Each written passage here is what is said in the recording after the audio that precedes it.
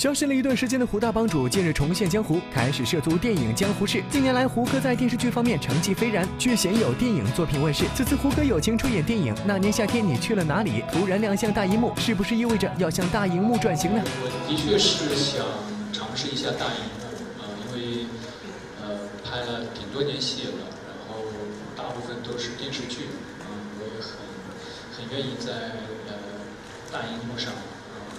努力一下，尝试一下，啊！但是呢，我也不会放弃电视剧，啊！至少我家的电视机还没有扔掉，还放在那里。听到这个消息，小编心中满满兴奋和期待呀！影片中不仅有胡歌精彩演出，宋佳和严卓林更是争当受害者，在现场公开挑衅，相爱相杀。我是被绑架十二年的女孩，我觉得策划这这一次的绑架案的人是我的姐姐宋佳。因为他从小都嫉妒我。刚才阿英也说了，我是他的亲姐姐，小时候是有一点嫉妒他，但是作为家人，再怎么嫉妒，也不至于找人把他绑架，对吧？所以我肯定不是凶手。